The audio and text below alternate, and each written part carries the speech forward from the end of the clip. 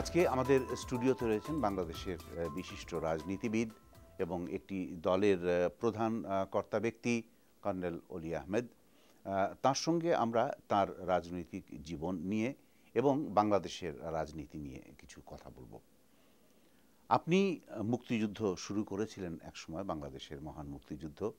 পরবর্তীকালে দেশ স্বাধীন হবার পর আপনি রাজনীতিক একটি দল গঠনে সক্রিয় অংশ নিয়েছিলেন।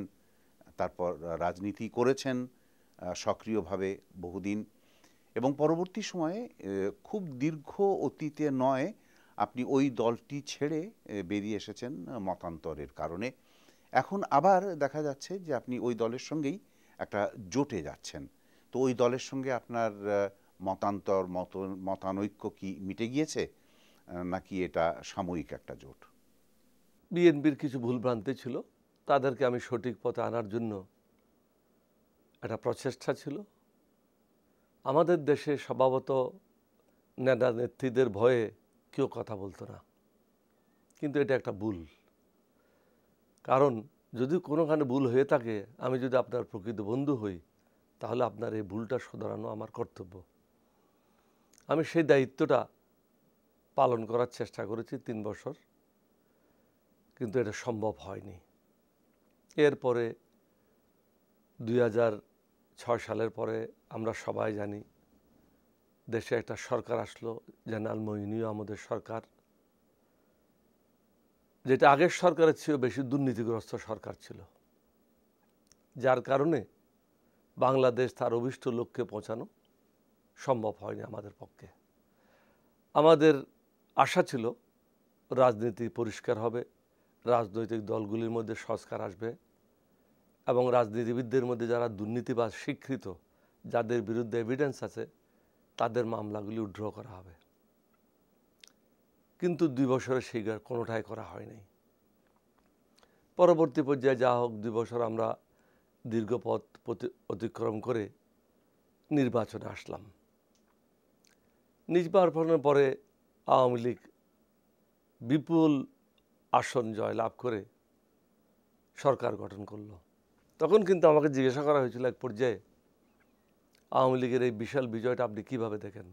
আমি সেদিন বলেছিলাম, এটা একটা অশনি সংকেত হিসাবে দেখি।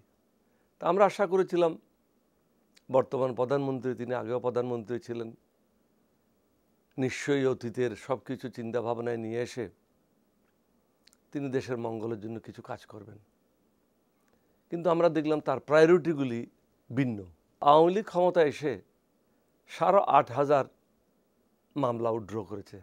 এর মধ্যে দুর্নীতির মামলা অস্ত্র মামলা। কিন্তু অন্যান্য রাজনৈতিক দলগুলির কোনো মামলা প্রত্যাহার হয় নাই। এখানে আমার প্রশ্ন হলো এটা একটা অনৈতিক কাজ। কারণ আপনি যদি আহ, সরকারে থাকেন you have to apply the same প্রত্যেকের জন্য সমানভাবে আপনাকে আইন প্রয়োগ করতে প্রয়োগ করতে হবে।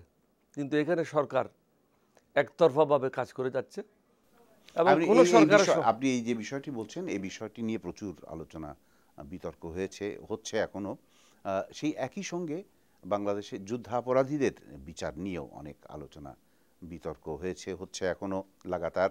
আপনি নিজে মুক্তিযুদ্ধ করেছেন মুক্তিযুদ্ধ শুরু যারা করেছিলেন তাদের মধ্যে আপনি অগ্রগণ্য।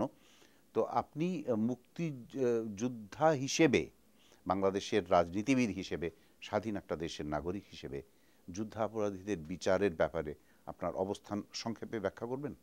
সংসদে এই বিষয়টা নিয়ে আলাপ হয়েছিল। আমি ওখানে উপস্থিত ছিলাম এবং এটা বিচারের পক্ষে আমি ভোট দিয়েছিলাম। সুতরাং আমার অবস্থান অত্যন্ত পরিষ্কার। কিন্তু এখানে আমাদের বক্তব্য হচ্ছে, এটা যেন কোনো প্রতিশোধ নেওয়ার জন্য নয়, কাকে হেয় প্রতিপন্ন করার জন্য নয় এই বিচারটা হতে হবে আন্তর্জাতিক মানের কারণ যুদ্ধ অপরাধের যেখানে এবং সত্যের ভিত্তিতে। হ্যাঁ যেখানেই বিচার হয়েছে যুদ্ধ অপরাধের সেটা আন্তর্জাতিক মানের হয়েছে এবং এটাতে স্বচ্ছতা এবং জবাবদিহি থাকতে হবে। বাংলাদেশ স্বাধীন হয়েছে প্রায় চার দশক হয়ে গেল। ইতিমধ্যে বিভিন্ন সময়ে বিভিন্ন পর্যায়ে বিভিন্ন মহল থেকে বেশ কয়েকটি বিষয়ে আলোচনা উঠেছে জিজ্ঞাসা উঠেছে বেশ কিছু বিষয় প্রশ্নবিদ্ধ হয়েছে। বাংলাদেশে রাজনৈতিক চর্চা নিয়ে, রাজনৈতিক সংস্কার নিয়ে কথা হয়েছে। বাংলাদেশের মতন দেশের রাজনীতিবিদদের রাজনৈতিক দর্শন নিয়ে ভিশন নিয়ে প্রশ্ন দেখা দিয়েছে। তো এই, এ সম্পর্কে সংক্ষেপে আলোকপাত করবেন? আপনাকে ধন্যবাদ। আসলে যিনি প্রধানমন্ত্রী হন, তাকে দেশের জন্য একটা স্বপ্ন দেখতে হবে। স্বপ্নটা হতে হবে বাস্তব ভিত্তিক পারিপার্শ্বিক অবস্থা নিয়ে আপনাকে চিন্তা ভাবনা করতে হবে। আপনি যখন নিশ্চিত হলেন যে আমি এই কাজটা করব এই দেশের জন্য এবং নট ফর মাই পার্টি আমার পার্টিকে উপকৃত করার জন্য নয় বা ক্ষমতায় টিকে থাকার জন্য নয়, মূলত দেশের জনগণের মঙ্গলের জন্য। তাহলে আপনাকে পরিকল্পনা করতে হবে।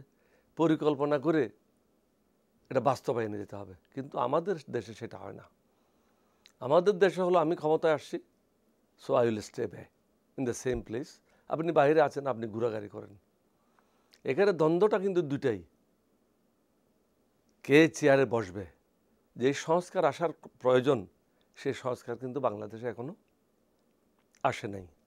আমরা কিন্তু প্রতিশোধের রাজনীতি, সংঘাতের রাজনীতি থেকে এখনও বেরিয়ে আসতে পারিনি এর জন্য দায়ী হলো মূলত রাজনীতিবিদরা। আপনি একসময় মুক্তিযোদ্ধা ছিলেন, তখন দেশ স্বাধীন করবার। একটা স্বপ্ন ছিল আপনার চোখে মুখে। সে স্বপ্ন বাস্তবায়িত হয়েছে পরবর্তীকালে। এখন আপনি রাজনীতি করেন। বাংলাদেশের বিশিষ্ট রাজনীতিবিদদের মধ্যে সামিল আপনি। এখন রাজনীতিবিদ হিসেবে আপনার স্বপ্ন কি বাংলাদেশকে নিয়ে, বাংলাদেশের মানুষকে নিয়ে? প্রথমে তো আপনাকে যে ইনস্টিটিউশনগুলি আছে, যে রাষ্ট্রের যে মূল যন্ত্র, যেটার উপরে ভিত্তি করে একটা দেশ পরিচালিত হয়। যেমন বিচার বিভাগ। মানুষ যখন সব জায়গা থেকে বিতাড়িত হয়, তার একমাত্র ভরসাস্থল হলো বিচার বিভাগ। বিচার বিভাগ কিন্তু এখন দলীয়করণ, বিতর্কিত, প্রশ্নবিদ্ধ।